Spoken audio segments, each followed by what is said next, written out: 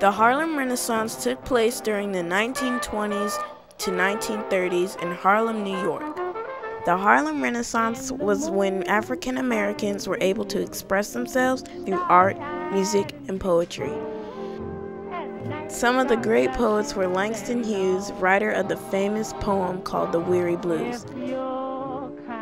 Claude McKay, who wrote A Memory of June, and W.E.B. Du Bois, who wrote My Country Tis of Thee. Some popular musicians of that time were Billie Holiday, who sang God Bless the Child.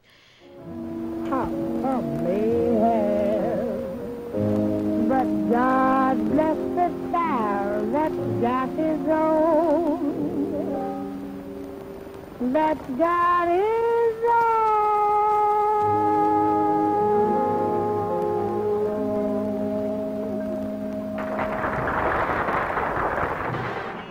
and Cab Calloway who sang Heidi Heidi Hi.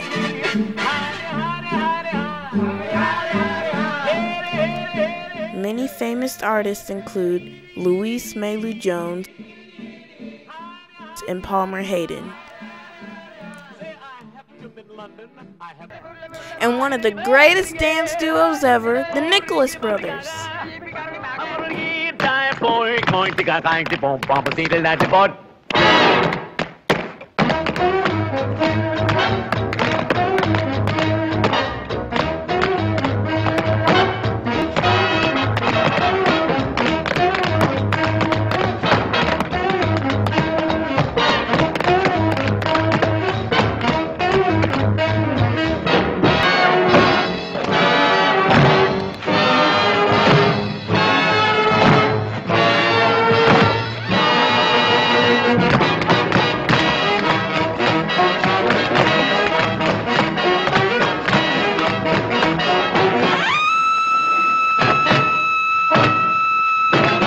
Harlem Renaissance, 1920 to 1930 by Payton Jarrett with a little help from Dad.